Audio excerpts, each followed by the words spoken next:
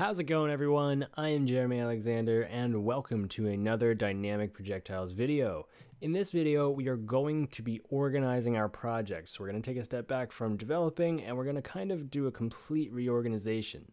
Now, unfortunately, if you don't have the personal edition of Construct 2, you won't be able to make subfolders like we're going to do. But by watching this video, it might influence you to purchase Construct 2 personal edition or greater because it's totally worth it for this organizational aspect.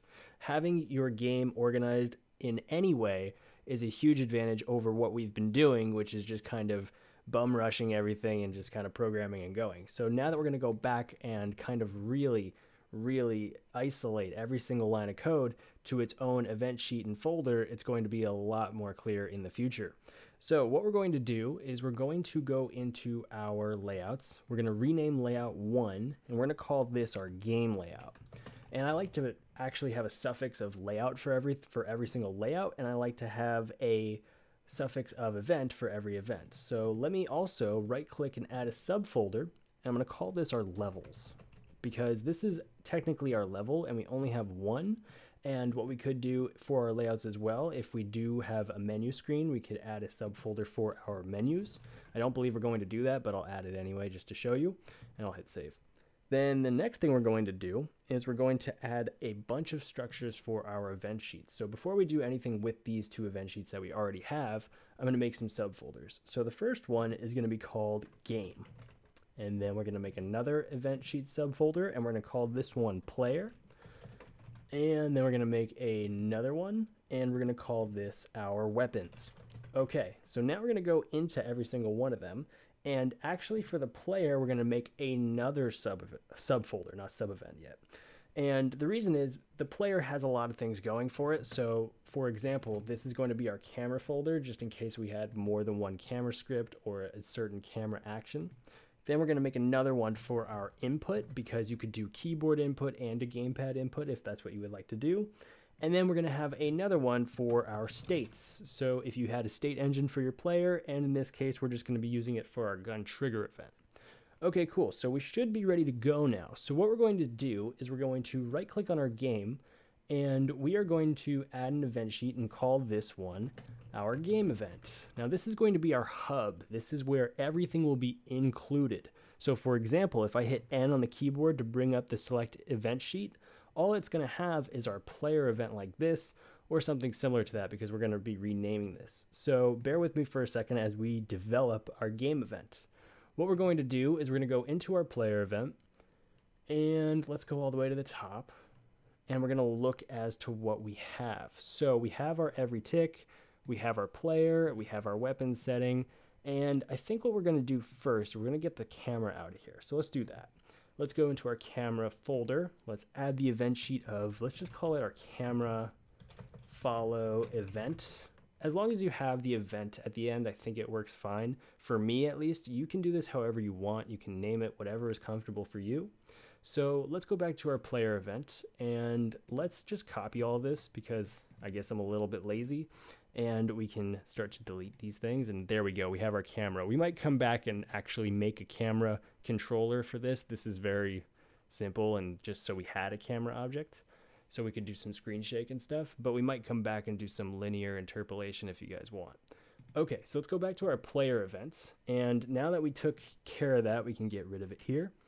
And let's look at what else we have. So we know that the player is going to need to have these this animation component in here. So let's go to our states and let's add this. Let's add an animation state. And let's actually, we don't need to suffix it with the event there. So let's actually just go to our player event and let's cut all of this out and let's hit paste. So this is gonna be our animation state because this is where we're kind of setting the animation to idle and we're setting the animation of our weapon. And we can also include this here because why not? We know what it does. It's just setting the position of our weapon to our player's image point. So let's go back to our player event. And now we have our input right here. So let's go to our input and let's call this one our keyboard event. And let's go to our player event here and let's cut it all out. Control X and Control V.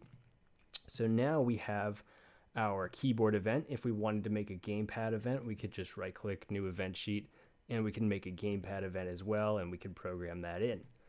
So I actually have a tutorial on that if you want to check that out as well. So let's go look at this. This is also an event for our keyboard, so let's put that in there. And this can be more convoluted. You could have separate events for separate things. And unfortunately, again, in the free version of Construct 2, you're kind of limited to how many event sheets you can have and no subfolders. So if you're watching this, this is definitely a good thing to invest in is the personal edition. Okay, so we had this group called our gun trigger here. It's fine that we called it that. Let's cut it all out and let's go to our states and let's call this one our gun trigger state. Gun trigger state. And let's hit paste. And you know what? We can probably take out this underscore. It's just kind of showing you a different way that we could do it, but we'll keep it all very similar. So this is going to be our gun trigger state. And now we have it all very, very isolated, which is what we want because now it's not all over the place for us to go look at. And by grouping it together, we're able to control that group by turning it on and off in code if we needed to. So it's also just nice to have this. I mean, we could always do that, but it's just nice to have this separate. And look, it's only five lines. So perfect. Okay, what's the next thing we have to do? we have our main function here. So this is going to go into our weapons folder. And for right now, we're just going to make one event sheet. I think in a later video, we might split up the on pressed and the on down. But for right now, we're just going to call this our weapon type event since it is a function. And let's go back to our player event. Let's grab this and let's put this in here and minimize that. Let's go here and we can put our weapon timer on another event sheet. Why not? weapon timer event. Let's go to our player event and grab it. Okay, so now let's see what else we have left here. So we're to keep going on this. We have our keyboard on B pressed, and this is for our, our, our own benefit or our debug. So let's go to our game and let's make a debug event. So anything that you need that is personal to you, that's probably not going to be in the overall game, we can put in a separate event. You can call it whatever you want. I like to call it the debug event, and there we go.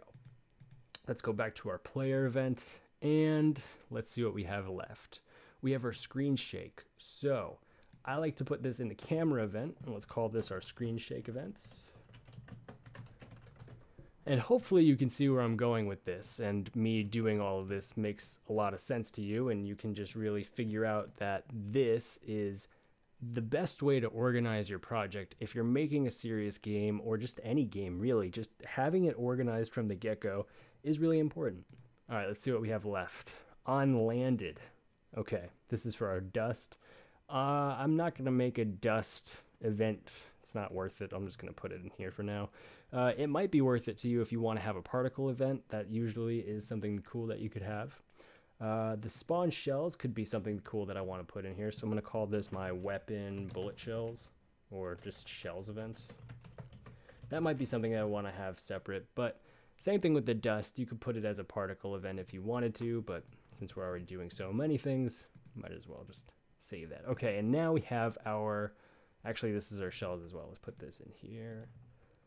And okay, so now we have to address our other events. Let me right click and close uh, actually let's close all but this and then let's hit save. And let's go to our sound event. So we can actually delete our player event because there is nothing in it anymore except for this include sound event. So our sound event was kind of uh, incorrectly named, it really handled our collision. So what we want to do is we want to go to our game and you could put this elsewhere if you think this this kind of does belong in the bullets. Maybe we want to put it here. Yeah, you know what? Let's do that. Let's make another subfolder. Let's call this our bullet collisions. Why not? We'll be extremely organized. And of course, you could even do a pistol collision event, machine gun collision, if you really wanted to, but I think we're just going to make a bullet collision event, bullet call event, and we can just take all of these, and that never worked, so or it did work, but I didn't like it, and we can just put it right in there. Okay, awesome. So now you're probably like, well, the game's not going to work. The project just will not work at this point. So let's go to our level and let's go to, actually, you know what? Real fast, let's go to our game let's make one more and let's call this our music event. We might be doing that in the future as well. It's controlling music, so having that there might be a good thing. Uh, let's go back to our game layout. And now we have to set our event sheet because we deleted the one that I was using. And we're going to set it to our game event. So let's find our game event. And let's go to our game event now. This game event is our main event. So every one of these event sheets that we just created is going to be solely for this event sheet. So here's how we're going to do this. We're going to right click and make a new group. We're going to call this our player. And we're going to actually nest some groups now. We're going to make another group by hitting G after you select that. And we can just really make this, well, let's think actually. Hmm. Let's start, let's start simple. So the first thing that we need to include in this is our keyboard event. So let's do that. Let's just type in keyboard event and let's add that and let's put that in here. Now, what I like to do even further is I really like to just make this our input and you could give it a description if you wanted to. And let's keep doing that. Let's we might as well just do it for everything. Let's do it for our camera. Let's do it for our states and for our weapons. That way we know where everything is. It's all in one location other than if I was in, say, the keyboard event and including events in here and that way it might get a little bit hairy and you might be like, oh, where did I call that event sheet? Am I calling that event sheet or not? So putting it all in one location I find is really beneficial. So we have our keyboard event. Let's put in our other events. Let's go for our camera stuff and let's just type in camera follow event. Probably should have called it camera shake event by prefixing it with the camera or whatever these groups are or suffix suffixing it. It might be also beneficial to you. Let's put in our screen shake events. And basically we just sectioned off every single piece of code and we're organizing it in a better way that we can actually see it and we can understand, oh, we're not calling this event. Maybe we don't want this event right now. Rather than having 70 lines of code in one event, it's better to just do it this way. So let's go to our animation state. Let's put that into, let's just put that outside here because we don't really have a group for it. I mean, we could, yes, we do. What am I talking about? We could just put it in our states. Let's also do our gun trigger states.